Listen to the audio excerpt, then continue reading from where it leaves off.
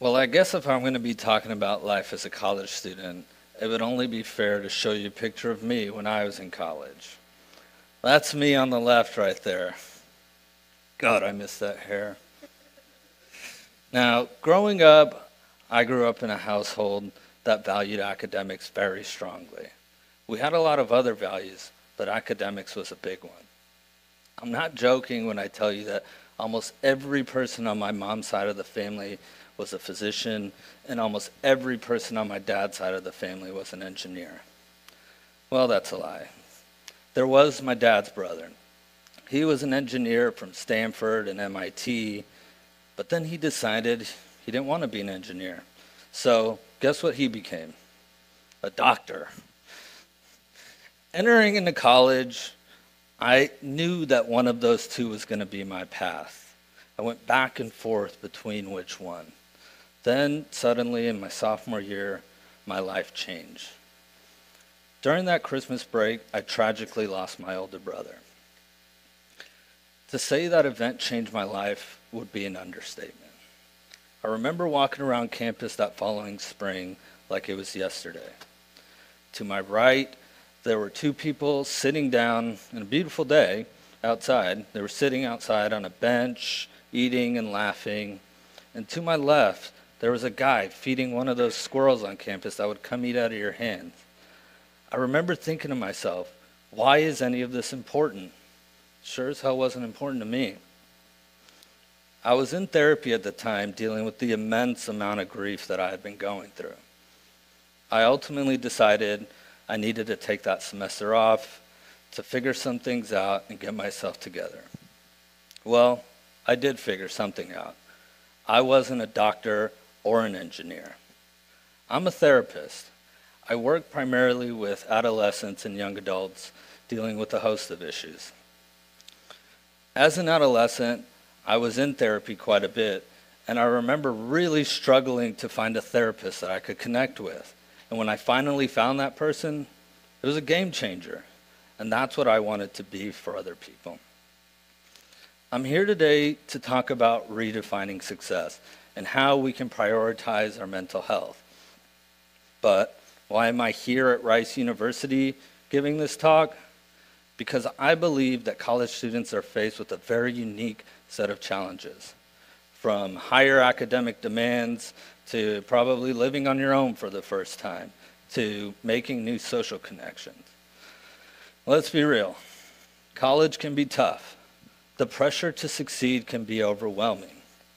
But would you agree with me if I said that college wasn't just about, or college wasn't just about getting the grade, landing the perfect internship, or having a large social media following?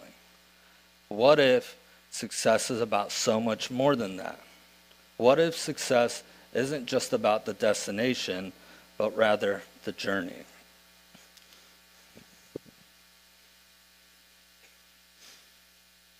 In our society, success is often defined by external factors, such as wealth, fame, social status.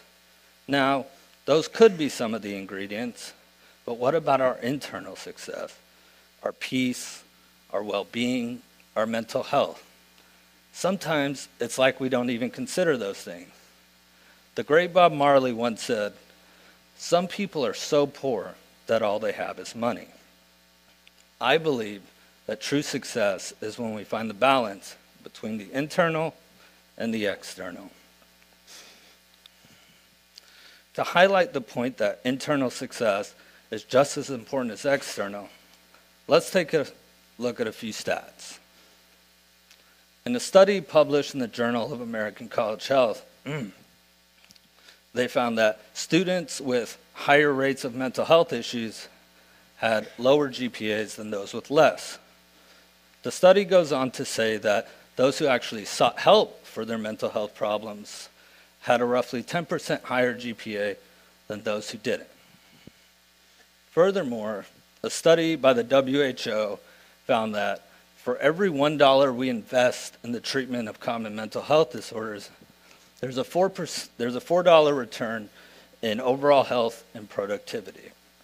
So, What do I mean when I tell you to prioritize your mental health? Well, I'll tell you what I don't mean. I don't mean sitting around and meditating all day or talking about your feelings nonstop, because let's be real, that would get annoying real quick. But there are some things that you can do. Start by acknowledging that it's okay to not be perfect. It's important to recognize that college is a challenging time for many students.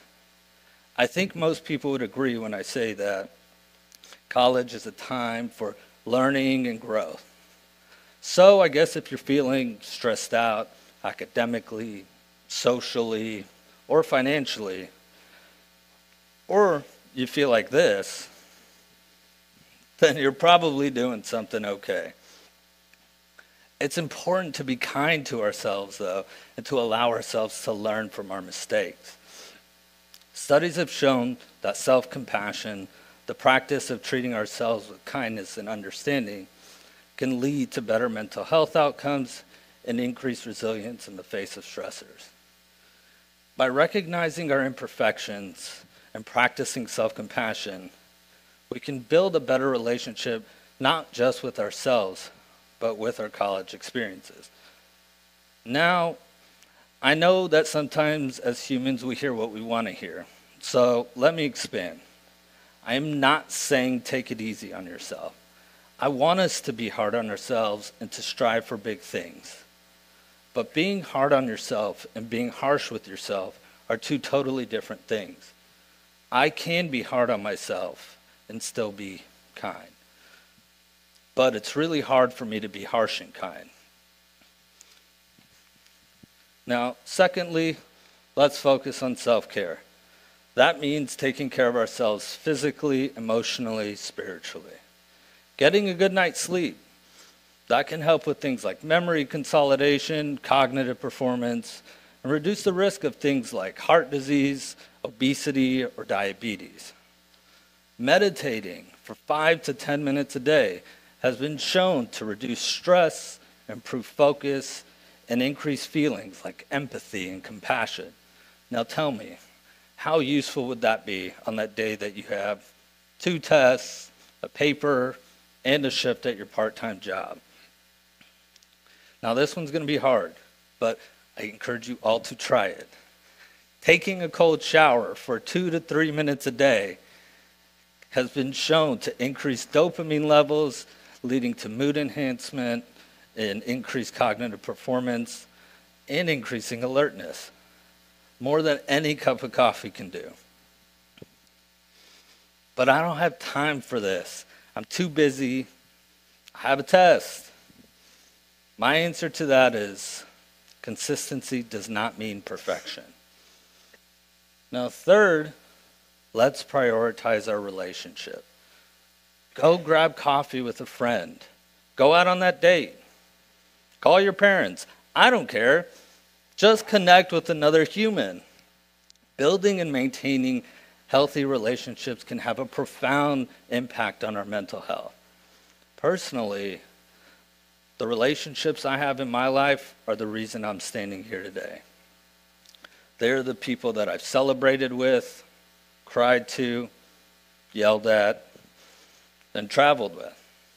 They're the people that supported me when I made poor decisions. They're the people that love me when it's hard to love myself. Fourth, let's talk about setting goals. Now we've all heard the advice it's important to set realistic goals. But what does that mean? I mean, is it realistic to say, I want to become the next Jordan, Oprah, or Gates. I mean, sure, but I don't even know that those people knew that they and would be who they ended up being today. So why is it important to set realistic goals? Well, if I set a goal that's too high, I might be setting myself up for failure. But if I set a goal that's challenging but realistic, I'm more likely to feel motivated and accomplished when I reach it. Now, I'm not going to be the one to tell you what's realistic and what's not because everyone's different. But to give you an example or an exercise in identifying, try using the SMART acronym, which stands for specific, measurable, attainable, relevant, and time bound. And fifth, seek help when you need it. There's no shame in asking for help. That can mean talking to a professional, family or friends, or even joining a support group. Talking to a professional can not only give us insight into ourselves, but it can also give us a form of accountability that we may struggle to ask for from others. Now, making changes can be easier said than done. It's easy to fall into old habits, and it can be hard to crawl out of them. But here's the thing it takes time, patience, and effort to build new habits. It's about making small, intentional changes in our daily lives that can make a big difference. For example, instead of scrolling through your phone an hour before bed, try meditating for five minutes. You can still scroll for 55 minutes afterwards. Instead of saying yes to every social event, try prioritizing the events you really want to attend and saying no to the ones that don't align with your value. And instead, engage in a healthy habit or a hobby. So, how do we make these changes stick? That is ultimately the key. I tell my clients this all the time. I'm not really interested if you can do these hard things when you feel like it. Anybody can do something when they feel like it. I'm more interested in can you do these hard things on the days you absolutely don't feel like it? Because that is when the change really happens. Here are a few tips. Start by tracking your progress. The things that we measure are the things that we can improve on. That can mean keeping a journal or a log or using one of those apps that tracks your routines and habits. By measuring and tracking my progress, I can start to see how far I've come and what work still needs to be done. Secondly, for the love of God, guys, write things down. There are so many things that require our attention. Think of your mind like a plot of real estate. Everything we have to do or remember takes up space. By writing things down, I can temporarily free up that space and come back to it when I need to. So, how many times have you had, you're going to bed, you put your head down on that pillow at night, you're thinking about your day, and then you have that moment where you're like, oh no, I forgot about fill in the blank. Now, ultimately, I don't know that we'll ever fully eliminate those moments because that would take perfection. But we can greatly reduce them if we write things down. And finally, celebrate your successes. If this whole thing is about balance, and I'm going to get down on myself for my failures, well, I should counter that with celebration of my successes. It's important to celebrate our successes, no matter how small you may think they are.